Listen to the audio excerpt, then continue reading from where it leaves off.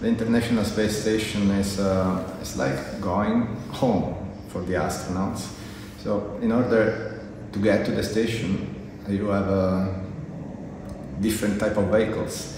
Um, I flew twice on the Soyuz, Russian Soyuz, flew once on the shuttle, and uh, now there is Crew Dragon that is uh, Elon Musk SpaceX. They are similar, um, so you do training, and long training. Eventually, finally, you arrive um, the day, the day arrives, and uh, you climb on this 55 meter tall that's Soyuz or 100 meter that was a shuttle stack, and then you get ready to launch. Countdown, and then going to zero. Engines start. That is about eight, nine minutes. That is a continuous acceleration. So you go from um, zero to 27,000 kilometers per hour from the surface of the planet to space, about nine minutes. Then you are in space and then everything stops, the engines stop and suddenly you perceive that you are no longer sitting on your chair, but you are sitting on your uh, belt, safety belts. You look around and you see items that float. You are in microgravity. The first time it's a bit strange. You feel your face warm and uh, it is like um, it's somehow similar when on the ground you do the vertical feet up. Uh, blood is going to your face. It is similar. And that's only the beginning. After that you unstrap and you start to interact with uh, the lack of weight, microgravity. And that's inside a capsule like Soyuz or shuttle. Then you dock to the station, the astronauts open the hatch, go from the spaceship to the space station, and that is a completely different because space is much larger, bigger, and at that point, for the first time, your brain is capable to best uh, face the challenge to work three-dimensionally.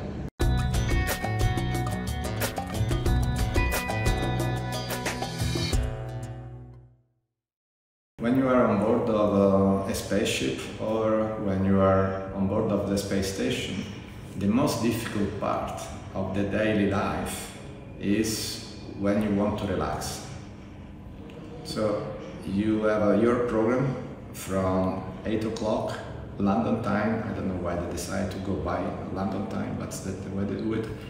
And then you have your lunch break, and then at a certain point you have dinner, obviously. 10 o'clock, um, the commander, station commander, is sh shutting off the lights, and then you are supposed to relax. That's when, for the first time during the day, you feel yourself.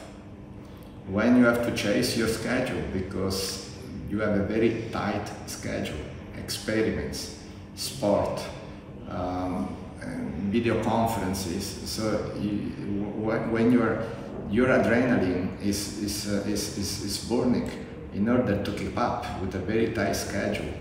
You don't perceive yourself, you just try to complete the task.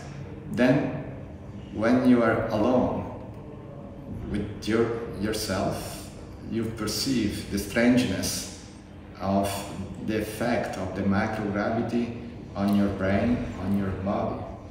That is not pleasant because we are humans. And uh, just as an example at the end of the day we go to bed.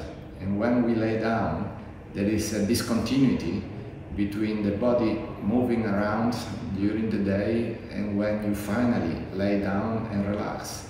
In space there is no difference because you float during the day you float during the night. So your spine starts to complain and say, well, I am unhappy because I need to have uh, some discontinuity.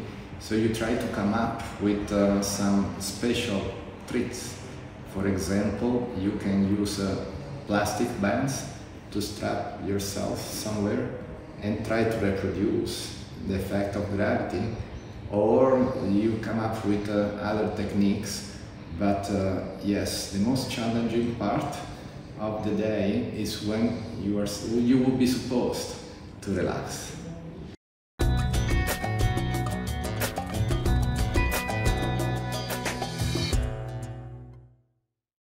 I flew three times and uh, um,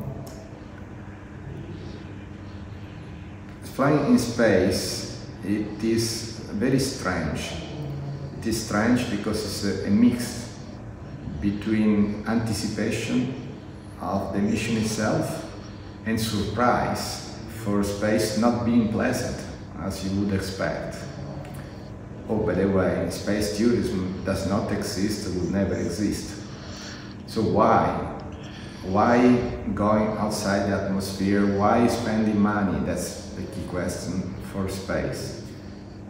There is an easy answer um, that you can try to communicate with words. For example, the, the, what I use as, an, as, a, as a concept is uh, the future of Earth is linked to space. In what sense? Resources so now we are destroying the ecosystem, trying to find more um, fuel that we need in order to have our economy to continue to grow. That's the wrong concept. We are on the wrong track. The only way out, the only sustainable way to permit the continuous growth of the economy is getting the atmosphere, getting the resources outside the atmosphere. So I go on the, on the moon, I extract what I need and take it back. That is for the future of the ecosystem. Uh, what is the correlation between this and flying space? The, the link is what you see once you're outside. So you see the planet, is beautiful, yes. However, you also see that uh, the resources are, that the earth is big, but uh, it's, you see from outside, the resources are, are not inf infinite. And not only that, if you look well, the atmosphere appears like a tiny, tiny, um, tiny strip that uh, embrace the planet uh, and you can see the global effect of pollution. So that is uh, a huge motivation that you take with you and think about the future of the planet for yourself, your family and future generation. This is something for sure that uh, has changed my motivation in, uh, in, uh, in, uh, in, in trying to give a contribution to the future.